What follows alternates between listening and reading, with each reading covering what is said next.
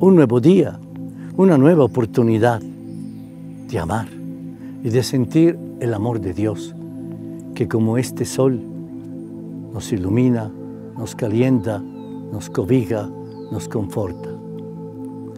Del Evangelio de San Lucas en el capítulo noveno, versos 51 a 59. Cuando ya se acercaba el tiempo en que tenía que salir de este mundo, Jesús tomó la firme determinación de emprender el viaje a Jerusalén. Envió mensajeros por delante y ellos fueron a una aldea de Samaria para conseguir alojamiento. Pero los samaritanos no quisieron recibirlo porque supieron que iba a Jerusalén.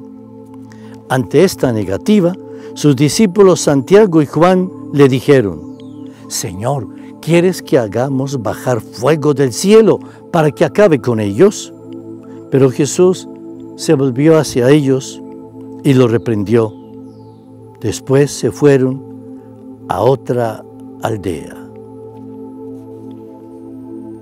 Palabra del Señor. Gloria a ti, Señor Jesús. Y Jesús los reprendió.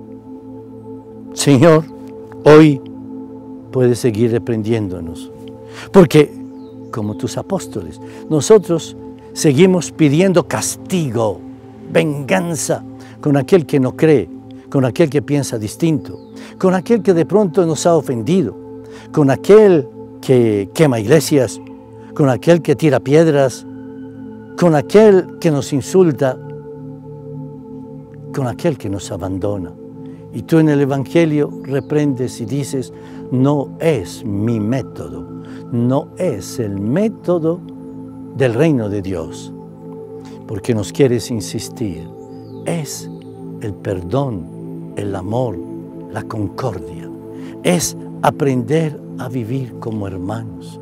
Diferentes, sí, distintos, sí, pero odiándonos, no, porque no es un método que dé crecimiento en la fe, no es una manera de dar a la vida una mayor fuerza. Por eso, Señor, repréndenos, sí, todavía somos muy vengativos, todavía tenemos muchos resquemores y odios, todavía Queremos castigo sobre todo aquel que no está en el camino.